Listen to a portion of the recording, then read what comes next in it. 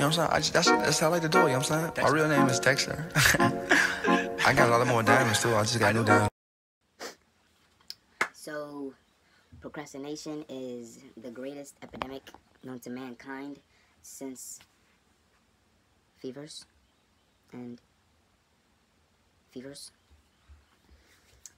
Everybody suffers from procrastination, from toddlers to dying grandparents, because it's procrastination.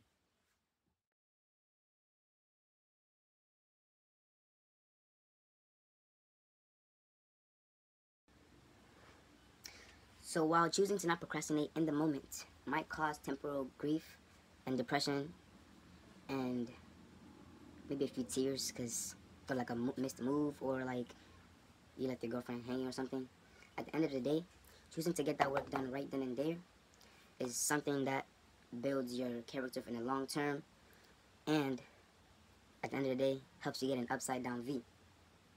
V? So with procrastination, we have two stages or two, let's say two roads, right? So we have the early procrastinator who, you know, since the beginning of high school, 9th and 10th, 11th, they've been saying, I'll do it later, I'll do it later, I'll do it later. And now senior year is coming in, gotta get the work done. And then we have the late bloomer, like me. Exposing myself, that's another point. But there's a late bloomer like me who work hard, all high school career, senior year comes, boom! You don't want to be that. You don't want to be the first one. You don't want to be any of them. So you know what that means you need to do? Not procrastinate. And we'll talk about how. That was the main event. The main thing you need to realize and remember in order to not procrastinate is you need to set your priorities and goals. Because once once you do that, that's when you know what is important to you and what's not important to you. Oh snap, hold on. So when you know what's important to you and not important to you, you know what to take seriously and what's not take seriously. And that is the first step into not procrastinating. Because once you know what's important to you, and once you know which where you need to get to, you're not gonna want to waste time to get it. Because you're gonna wanna, yeah.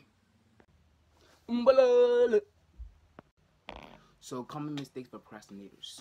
Uno. I'm gonna get it done two hours, an hour and a half tomorrow. It's not it's not hard. It's not it's cake. It's gonna be quick.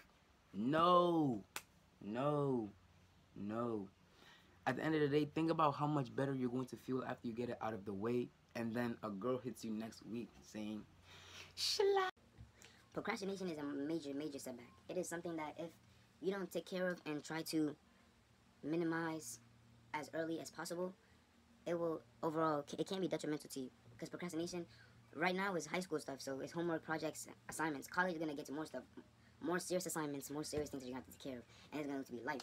Now, when you get into the real world and you procrastinate on paying your bills, you're not going to only get a late fee or 80% off.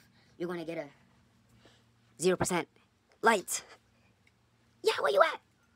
it's like, nah, I'm right here. But yeah, that is not something that you're going to want to deal with in the future. And that's not something that your girlfriend or wife or boyfriend or, you know, significant pet is going to like. If your friend says, do you want to go to the mall? Yeah. While you have homework to do? Yeah. Are you going to say yes or no? Yeah. What? Are you going to say yes or no? No. You have to say no. No. Say no. No. You got no. You have to say no.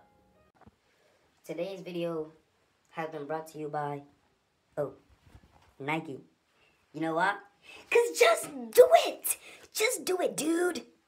Do it. And these red bottoms, I know Vans. And she telling all her friends, I might put them on the ground. Baby girl, what you doing? Where your man? I just popped a Zan, 50,000 in Japan. I ain't doing no plan, these red bottoms, I know Vans.